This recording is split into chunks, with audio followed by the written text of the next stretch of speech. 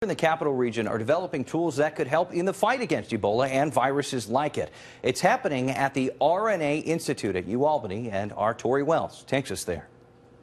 And we have robots. In these quiet labs tucked away on the UAlbany campus, work is being done that could have a worldwide impact. It not only makes it easier, significantly easier. It accelerates the research. As researchers across the country try to come up with treatments for cancer, HIV, and Ebola, scientists here are coming up with technology to speed up that work.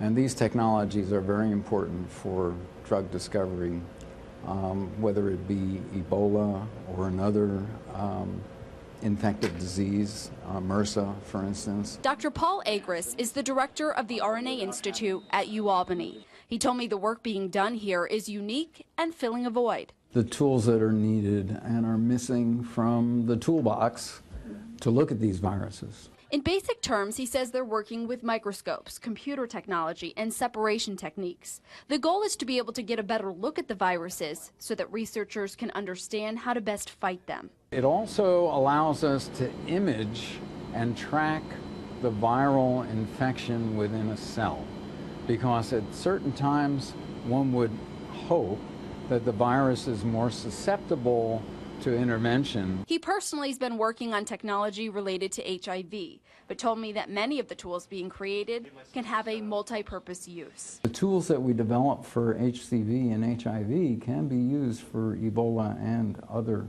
uh, RNA viruses. In Albany, Tori Wells, CBS 6 News.